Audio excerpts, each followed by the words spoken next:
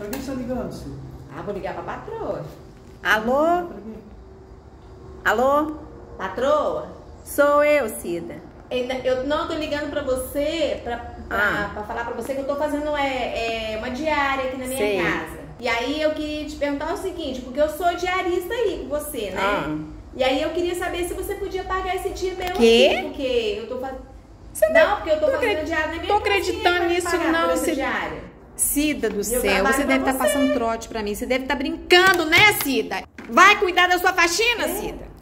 Que mulher grossa, ainda desligou na minha cara, você acredita, Edinho? Ela desligou na sua cara. Na minha cara, agora quem vai que vai pagar pra eu fazer diária na minha casa? Mas ela tem que pagar, tem que cobrar ela. Pois é. É direito seu. Porque quem vai pagar? Eu sou diarista dela. E hoje eu tô fazendo a diária aqui na minha casa, mas ela que tem que me pagar. É isso aí. Eu, hein? Talvez ela tá querendo que eu pague.